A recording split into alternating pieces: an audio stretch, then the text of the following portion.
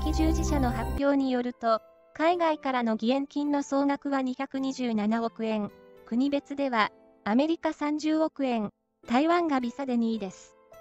なお、国内を含めた義援金総額は、3700億円、赤い羽中央募金会411億円を含むになります。では、どうぞ。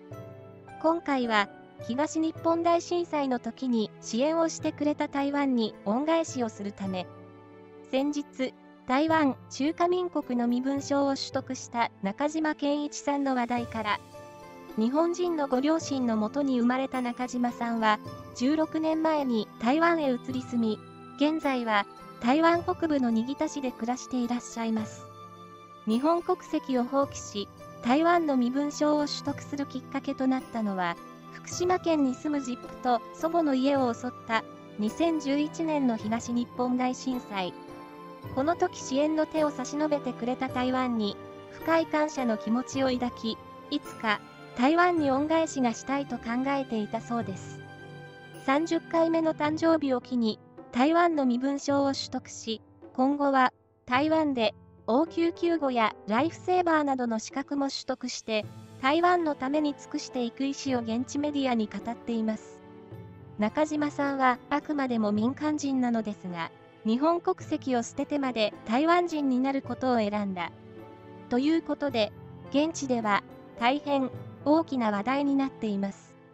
多くの台湾人の方々が純粋にこのことを喜んでいるのですが、一方で本当に日本国籍を捨ててよかったのか、と考える方も少なくないようでした。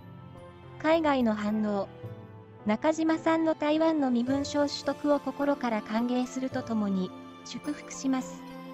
台湾のすべてを楽しんでください。日本と台湾の友好関係がいつまでも続きますように。台湾人の一人になってくれてありがとう。この人の台湾に対する愛情に、本当に心を打たれた。日本のパスポートを放棄しちゃうなんて本気なの？衝動的にやっちゃったわけじゃないよね。台湾は主権を奪われてるのに、それでも台湾を選んでくれた。これは、台湾に対する本物の愛だよ。外国人の方が、台湾人より台湾を愛してくれてるじゃん。俺たちももっと頑張ろうや。中島さんと国籍を交換できるものならしたいんだが、日本の方が生活水準とかが高いのに、台湾の何がそんなに良かったのか、私には不思議でならない。私たちの台湾を愛してくれて、ありがとうございます。日本のパスポートを持ってた方が何かと便利なのにな日本のパスポートは、世界でもトップ5に入るからね。お前らさ、台湾を選んだのが日本人だから喜んでるんだろ。これが東南アジア人とかだったら反応が変わるくせに、どれだけの台湾人が日本国籍を取得してると思ってるんだ？割合を見てから喜ぼうぜ。プラスに、正確には中華民国籍だよね。台湾は国じゃないから。5年中くらいに隣人問題で後悔する気がしないでもない。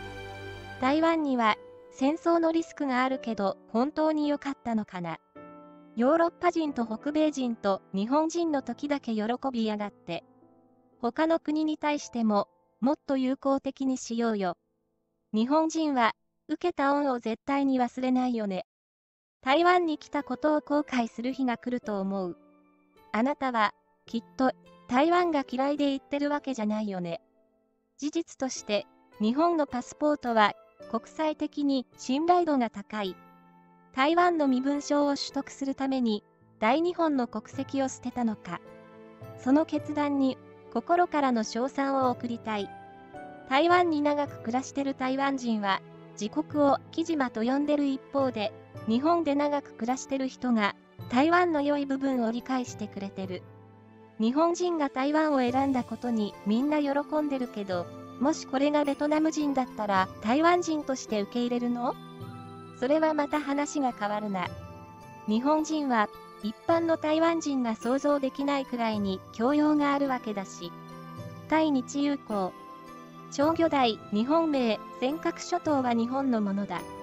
ありがとう。私も台湾が大好きです。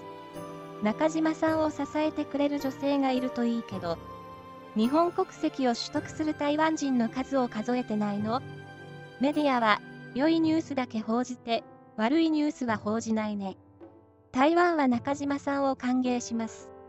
台湾と日本は友人同士だから、台湾での活動を応援してますよ。正直言えば、もったいないことをしたと思う。それでも台湾を愛してくれてることにはすごく感謝してます。台湾はリタイアした後に暮らすには良い場所だと思うけどね。リタイア後に過ごすなら日本の田舎の方が快適でしょ。日本政府は台湾を国として認めてないわけだから、台湾の身分証を取得するときに日本国籍は捨てられないはずだが、蓮舫さんの時にそういうことがあったような気が。中島さんがこっちに来る代わりに、俺が日本に行きたい。これほどまでに台湾を愛してくれてる人がいるなんて嬉しい。素直に、ありがとうって気持ちが湧き起こったよ。感動した。日本人が日本国籍を捨ててまで台湾人になりたいと思ってくれたのか。しかも、彼は台湾の発展のために全力で努力をすると言ってくれてる。台湾を愛してくれてありがとう。ありがとう。台湾に行ってみるとよくわかると思いますが、とても親日です。日本に組み込まれていた時代が良かったと見直す風潮が広がっているようです。日本が一方的に侵略したのではなかったことが証明されているということなのだと思います。